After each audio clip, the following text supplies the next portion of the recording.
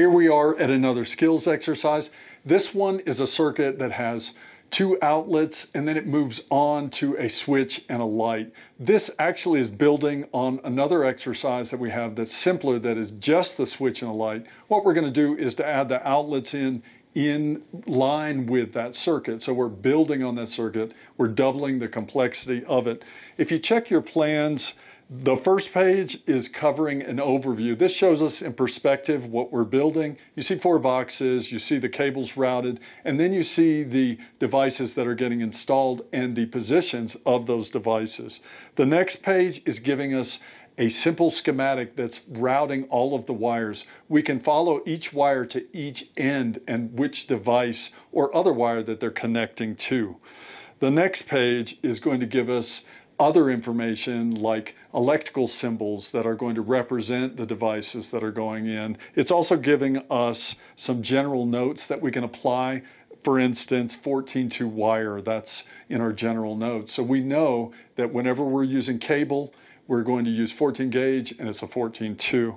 The last two pages are showing us, wait a minute, two, three, four pages are showing us close-ups of each junction box. So as you work through each box, I'm going to start at the beginning of the circuit and then work to the end. Each one of these close-ups are going to give you the details to get you through each wire-to-wire -wire or wire-to-terminal connection. So let's go ahead and do that here in our mock-up. What I've done here is I have a lot of this work already completed. I've set my boxes, four boxes set 12 inches up from the bottom. I have all my 14.2 cable routed in and I have a wire running in, that's my feed. And then I have a 14.2 cable running uh, from one box into the other box and I have some extra so that we can work on our devices then pack them in at the end. These wires here I've already stripped the jacket. I'm going to strip the jacket on these wires and then we'll get down to prepping the wire ends for the devices.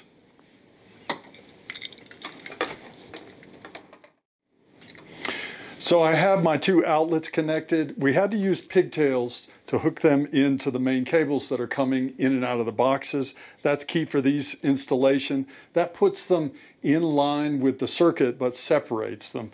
Now we're going to move on to our switch box where we're going to put a single pole switch in and last at the end of the circuit we're going to have a light that's operated by our switch. So that completes my circuit. That's four devices. And let's do a quick review.